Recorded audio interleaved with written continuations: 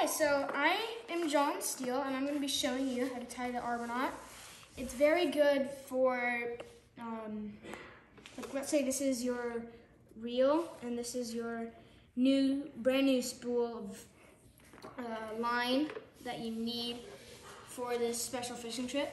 You want to tie the arbor knot so that it stays on your rod so that you can fish with it. Because if it comes off, then you'll end up losing your line. And that's pretty annoying, I'm imagining.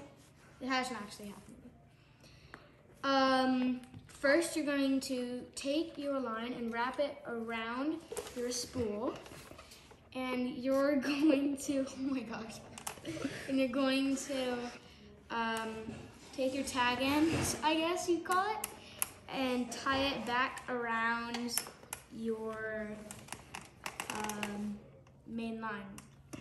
So you're going to tie an over an overhand knot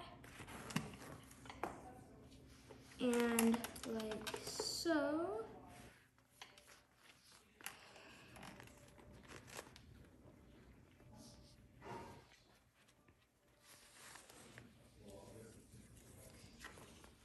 And then you have your overhand knot. And then you're going to take your uh, tag end and tie another overhand knot there. And then you're going to tighten it.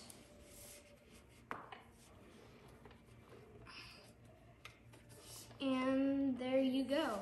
You have your arbor knot and you can clip the tag end so that it doesn't mess up your line. I, I would clip it very short.